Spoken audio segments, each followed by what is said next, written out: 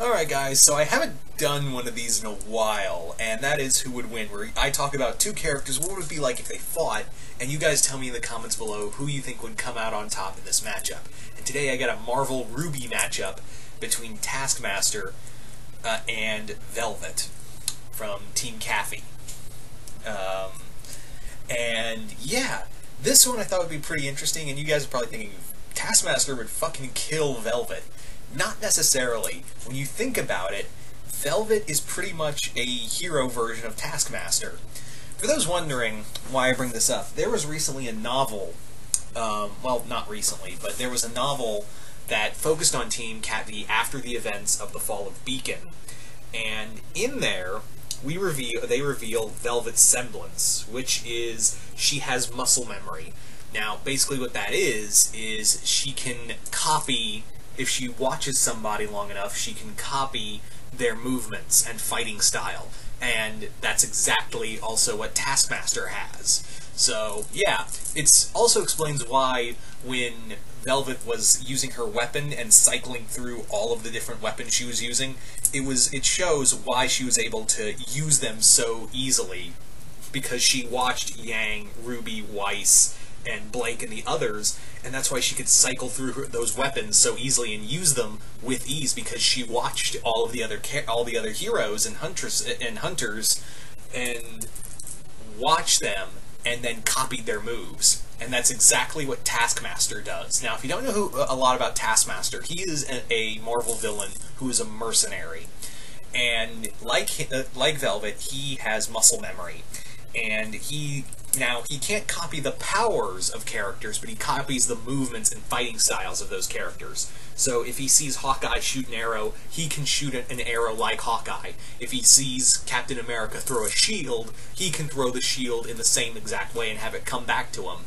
If he sees like uh, like Black Widow fighting or Shang-Chi fighting, he can see and read those movements, and he can cycle through all those movements because he can remember every fight. He's he can remember all those different fighting styles and just cycle through them and switch them up like that. Um, now the other thing you have to understand is that Taskmaster doesn't really have a lot of um, like he basically has like your basic weapons. He doesn't really carry a lot of adamantium or vibranium weapons. He has been known to, but he he considers them a little too weighted and he needs to be flexible when he's fighting all these characters. He's taken on multiple Avengers at once, and he's taken on, you know, some big names in the Marvel Universe. I'm talking like Captain America, Iron Man, Spider-Man.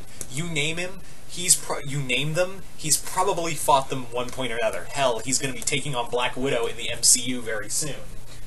The major thing you have to look at with this, um, with the character of of uh, Taskmaster is that even though he has all this gear and weaponry and skill, he's still human.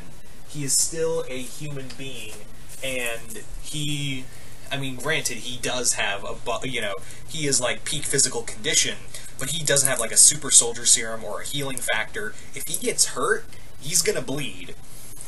Now, um, Taskmaster, of course, carries like bows and arrows, guns, swords, a shield. Um, and he carries knives, uh, bullets, bolas.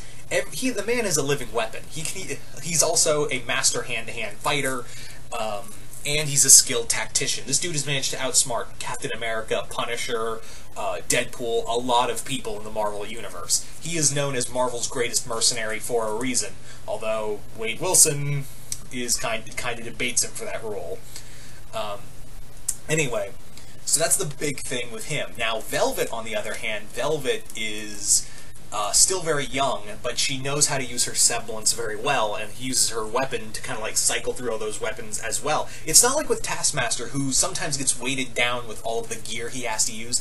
Velvet can just, on a whim, switch from Yang's gauntlets to Ruby's scythe to Weiss's sword to just like that.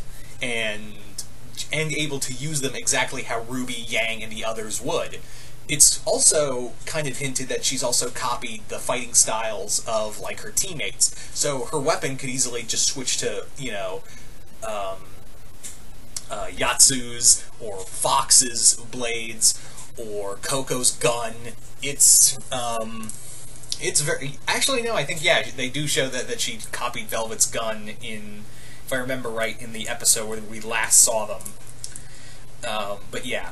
Now the other thing that Velvet has is that she's very uh, she um, has of course like all characters in uh, RWBY is an aura which kind of acts like a barrier. So she could probably take a few shots and maybe even a few swipes of the sword that um, Taskmaster carries, and take a few bullets. But that, but you have to remember that aura is wears down. And the other thing too is that these two are going to be studying each other. Taskmaster hasn't really fought anyone like him. He's never really encountered someone who uses their abilities exactly like him. The closest is his daughter Finesse, who, yeah, thanks Dennis Hopeless for killing her off. Fuck you. That was a great character. Anyway, I digress. Um, so that's the big thing is that these two characters are going to be like cycling through each other and they're going to be studying each other like there could be one moment where velvet is watching him fight like a taskmaster fight like spider-man and she's going to copy it then he's going to see her fight like ruby he's going to copy it but he has a, and also you have to remember that Taskmaster is older and he takes on metahumans on a daily basis. Velvet's still young and she still makes her mistakes. And since the solo fight, she um, there's not no Team Cat V, you know, caffeine helping her or backing her up. This is a one-on-one fight, and Velvet is works best when she's on a team. She's a team player. Taskmaster has been fighting, while he does work with other characters, he's more of a lone wolf and has taken out multiple characters on his own, whereas Velvet is still, like, young and she's still training, and she has difficulty fighting on her own despite her incredible power. So this is a really tough one. It's going to come down to who can cycle through the weapons and who can cycle through their fighting styles faster. And that's going to be the big um, the big question right there.